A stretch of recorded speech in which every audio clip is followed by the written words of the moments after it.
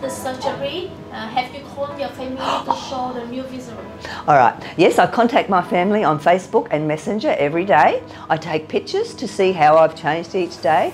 Everybody that I have sent pickies to have said that I look younger and um, very happy with the results. When I look in the mirror, I'm very happy with the results. The swelling's going down each day. Uh, there's very little pain or discomfort. Um, I'm very happy with the re results. Every day it looks better and better. They'll think that I should have had a holiday. I haven't had holidays for a long time, so I took six weeks off.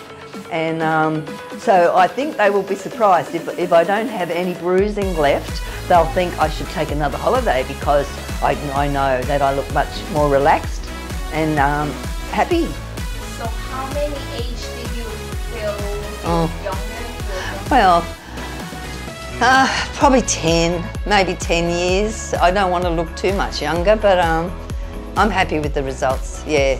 It was, the main thing was to stop looking angry and I feel I don't look angry as much, so that's good.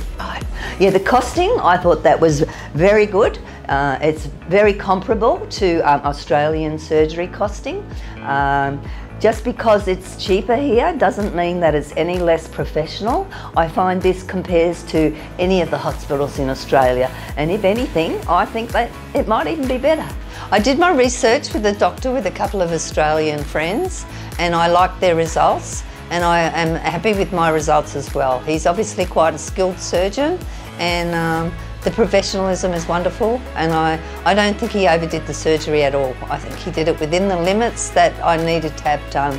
So I congratulate him and I'm happy to pass the word to any Australians that who know me. All right, I'm 63 like I said, but my personality inside I feel a lot younger, maybe in my 50s, but now everyone's sort of suggesting that I might even look 50 or less with this surgery.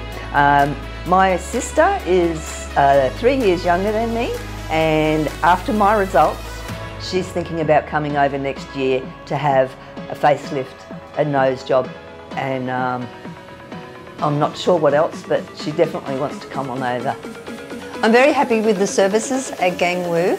The, the doctors and nurses are very professional.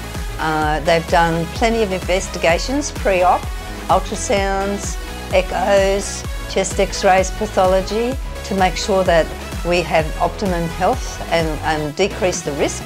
Um, the services post-op, uh, the nurses were very on board. I had a translator 24 hours a day and that was wonderful. That made the transition very easy.